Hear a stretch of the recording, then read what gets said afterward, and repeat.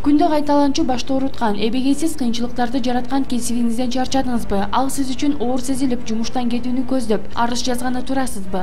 Токтоңуз жакшылап ойлонуңуз. Балким төмөндө сөз кылуучу кесиптерге кулак салган соң ал оюңуз тескерисинен чыгар. Анткени алдыда катардагы адам үчүн жагымсыздыкты жараткан иштерге күбө болмокчубуз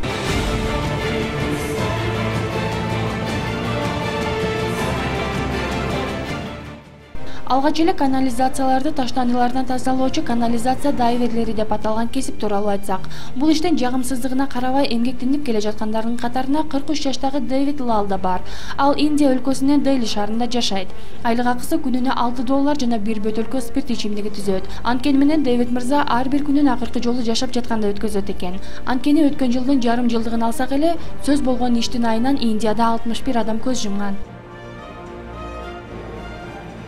кийинки сөз боло турган жагымсыз кесип колтук жыттоочу таң калып жатсаңыз керек. А бирок чындыгында эле ушундай иш аркылуу каражат табып келгендер да жок эмес. Бул кесип ээлери көбүнчө дезодорант чыгаруучу компанияларда кездешет.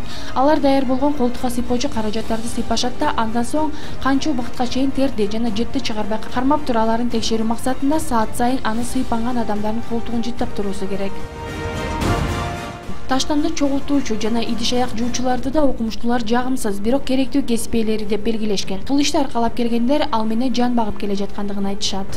Ушу экиден баштап кум сум чачып немелер жолдорду тазалап аракет кылабыз. Үй бүлөнү багыш керек. Айлыгыбызды убагы менен берет жакшы кийинки жагымсыз кесип ээлери даараткана тазалоочулар. Өзгөчө коомдук дааратканаларды тазалоо өтө жагымсыз экенин айтпасак да белгилүү. Албетте бул ишти аркалууга да жумушсуздук себеп.